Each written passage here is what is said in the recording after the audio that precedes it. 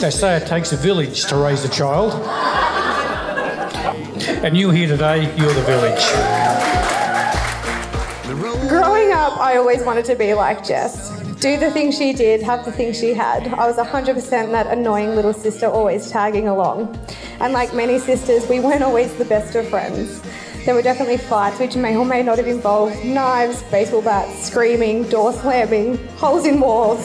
But I couldn't have picked a better sister and friend.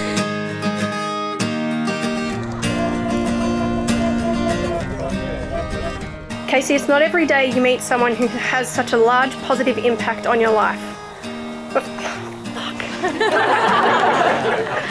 I'm good, I'm good. You got it. But from the moment we met, I knew your life was going to change. mine too, mine too, but like yours. You're warm, considerate, have the most beautiful smile. I can't look at you. have a heart bigger than anyone I've ever met, and well, you, you're also really annoying, more, almost more so than me, but we're good. But you put both my mind and heart at ease and provide a safe space for me to be me.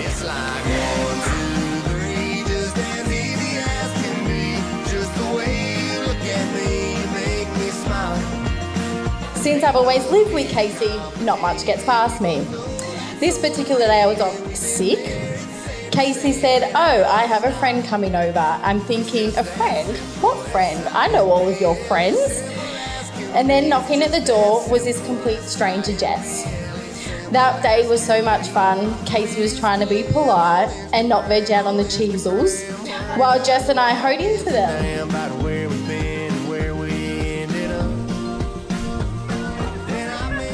Already know, when you marry a twin, you pretty much marry two people.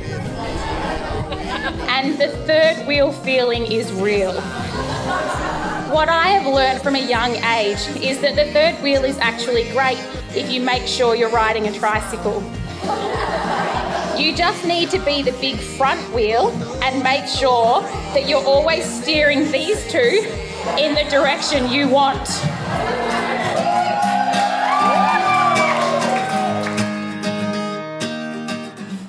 Ask everyone here to witness that I, Casey Lee McDonald, take Jess to be my lawful wedded wife. Jess, you are my best friend, the person I want to hold me up when times are rough. I love your thoughtful heart and your cheeky laugh, your dance moves even when people are watching, your drive to keep learning and achieving things that you never knew were imaginable.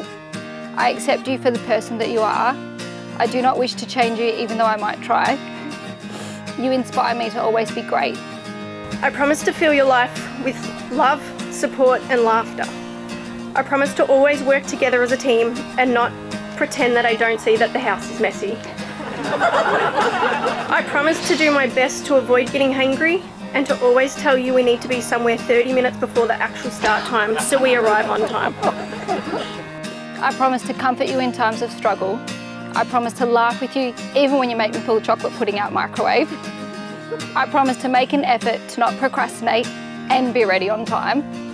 I promise you can have the whole pass if Demi Lovato or Fletcher come to town.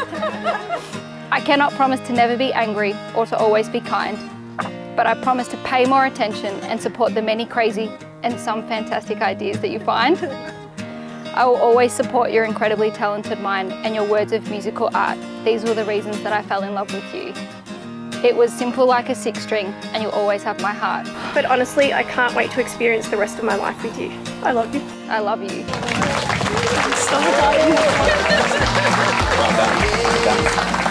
I'd like to say that it's been really joy to see the two of them together grow and their relationship, relationship to grow as it is.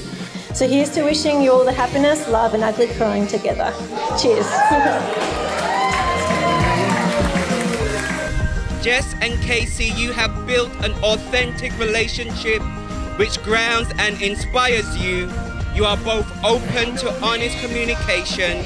You have decided to respect each other's individuality, talents, and given your full support to each other's professional and personal pursuits. It is through this strength and your friends and family that surround you that I now pronounce you as a married couple. You may now share your first kiss as a married couple.